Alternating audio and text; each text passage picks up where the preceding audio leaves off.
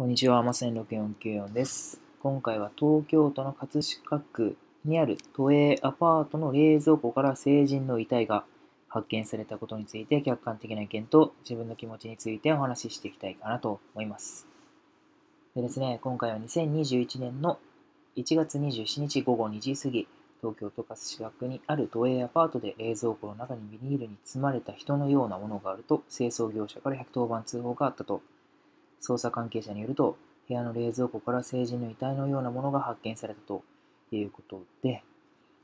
この部屋は現在空き部屋となっていたが、最近まで母と娘の2人が暮らしていたとみられるということで、この2人は家賃を滞納し、立ち退きを求められていたという情報があるということです。警視庁は死体遺棄事件の可能性があるとして捜査を始め、現場の状況などを詳しく調べているということです。でですね、客観的な意見としては、そのような場所で最初に発見した清掃業者さんは、今後メンタル的な部分は大丈夫だろうか。すでに状況だけでかなり闇が深い事件性を感じますね、といった意見が多かったかなと思います。でですね、自分の気持ちとしては、まあ、完全にこの、なんだろう、母と娘がすごく黒に近いグレーな、そんなイメージだけれど、冷蔵庫に入るぐらいの成人の遺体なんで、多分、あの、切り刻んでる感じですよね。果たして、あの、女性2人が、成人の男性の体を切り刻めるかと